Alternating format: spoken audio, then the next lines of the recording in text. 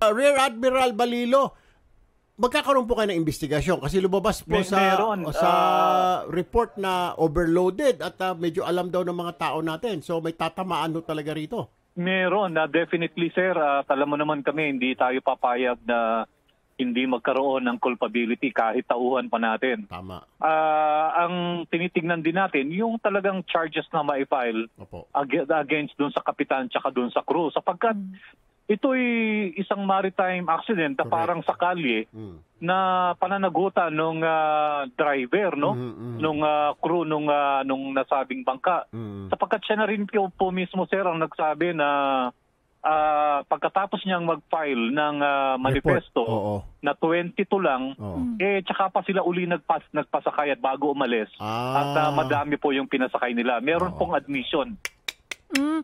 So overloaded, malinaw na Oo. overloaded pero, pa. Etong Overloaded siya partner motorized- pero nagsinungaling sa Coast Guard kasi sabi niya 22 lang. Mm, so nako. pagtalikod Opo, ni opo. Coast Guard, dinagdagan niya ng 60 tao. pala. 60 Do- plus, do- sila no, po sir? nagpasakay Ilan tama po lahat? tama po Diyos ko po. Ah, po? lumalabas po na 66 yung pasahero niya. Eh, Eh, dapat 22 ilan lang times ba, 3. ilan lang ba ang kasya doon sa bangka niya, ah, ah, Rear Admiral?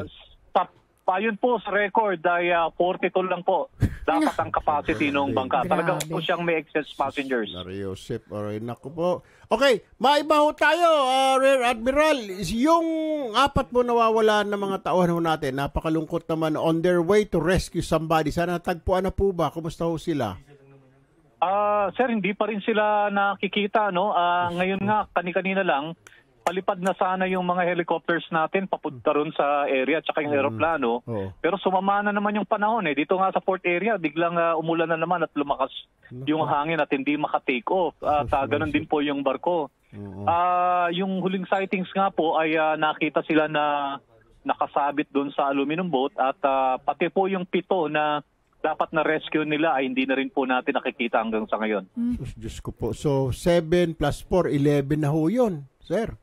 Opo. Nako, eh nako, Diyos ko po naman. Pero pag gumanda siguro ang panahon, ah, Rear Admiral, ah, itutuloy niyo ang paghahanap kaagad ah, sa mga ito, ah, sir?